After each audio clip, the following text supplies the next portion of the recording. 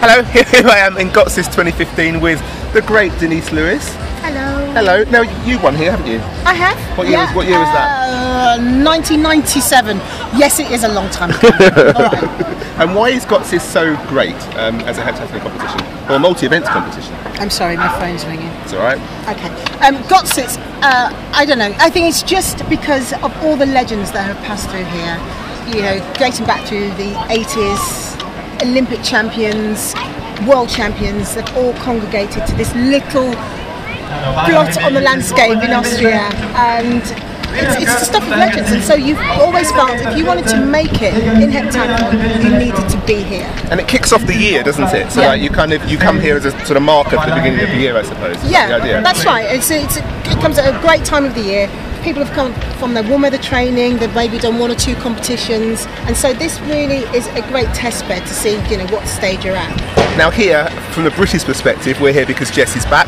Her first proper heptathlon since 20, well, first heptathlon at all since 2012. Yeah. Um, she's had a sort of a good start to the day. You know, how, how do you think she's doing? I think um, the hurdles were solid. Yeah, so, um, Knowing her, you know, she would have been a little bit disappointed. 13:24. You know, she's coming back. Yeah. she's coming back. And a high jump for me was very impressive. It was really good, It was wasn't it? Yeah. really, really something special. I thought with the hurdles that um, it looked worse than it was because when you saw her come sort of fourth or fifth, which you're not used to seeing, Yeah. but the time actually was really decent. Well, someone coming back after all that time. Yes, and the winning time was what, 13 flat? Yeah. And, you know, we're used to seeing Jess surpassing that sort of time. But it's, you know, she's not going to be disappointed. As long as she can come away from this competition unscathed, no pain, with the score that, you know, makes her feel that she's going in the right direction, it's great. And 186 in the high jump, which is Fantastic. pretty good, isn't it? That's the same as she did at the Olympics, I think. I can't remember, but what I what I know is she gave birth in July last year.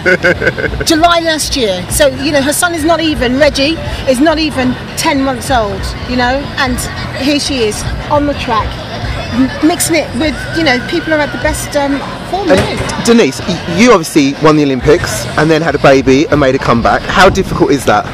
It's challenging. It really is. It's not easy at all. Um, even though Jess is making it look like I have two, Um, but it, it's it's difficult because there is the sleep depri- deprivation that you have to negotiate. Um, that separation that you will have to have with your baby as you travel, go warm weather training, um, and just just the amount of hours that you probably can put in and Jess is going to have to train smarter because yes she's getting older. She has to nurse some of those old injuries that she's had before. So it's not easy but like I said Jess is making it look like you know what what's the what's the problem? But she did say to me that she was you know she was stressful. The high jump was really stressful with a beautiful smile. So it does suggest that you know that competitiveness is still there but she's still not quite sure what she's capable of Sure. And what do you think she's capable of this weekend? What are your expectations of her? if things continue to progress um, the way it is I, I think she'll score six four and a half maybe six five Yeah. Which would be fantastic. which would be ex- extremely brilliant what would be great about that, everyone would be scared. All the competitors are here would be like, oh. yeah, no, no, you're right. You're right because if, if she can do just only a very small bit of winter training that has been interrupted and still come and score that kind of that kind of performance, you know, that's that's great. And we've also got Morgan here um, this week, um, this, this weekend. Now Morgan's obviously she's really young, only just 18. She's in the middle of her A levels, I think, at the moment. That's right. So I think we kind of have to temper our expectations of, of what she's got to offer, I suppose. I just think she's still learning. You know, she's got to get used to the disappointment. She would have been gutted about her hurdles performance. Um, I think 14:51, which she knows she can do better than that. Disappointment in the high jump, um, but it's not a disaster. She's still in the mix, but it's all about learning. And that's the thing I think we understand that maybe she doesn't always, that we don't expect her to be winning everything. It's easy in the junior ranks, isn't it? You expect her to win. This is a whole different ballgame, isn't it? It's So a whole different She has ball to temper game. it. She does. She really does, and just keep the expectation realistic and, and try to take away from this competition the positives. And if it does all blow up, and if she finds it, oh, this was the worst performance I've ever put together, learn from it. Why did it go wrong? You know, I know her head was, you know, her chin was down after Yeah. those hurdles, and I think she didn't really recover from that, and that affected her high jump.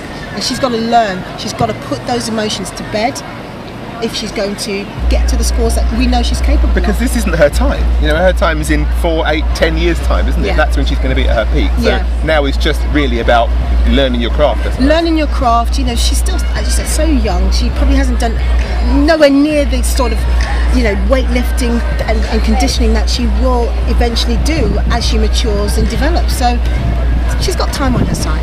Um, now, enough about them. We want to talk about you. Um, now, obviously, you competed here, as have all the greats of the event. We were discussing on our way here. Where do you rank Oh, in, in the all-time in the all-time greats of the event? How am I going to answer that? How would you rank me? I okay, well, so, so who, who's who's obviously ahead of you? lots of people. No, there's No, not. it's not a lot. There are. There aren't. There are. Name, name them. Okay. Um, Sabine Braun, Yeah. Eunice Barber. No. Um, Sabine Braun will give you. Yes. Klüft. Cliff, Yes. JJK. Jess. Yes. Jess, Jess. yes. Yes. Yeah. There's got to be That's um, four. Who else? um, Toshinskaya. Who? No, she did the pentathlon. Pentathlon. Okay. Um, who else then? Um, another Sabine.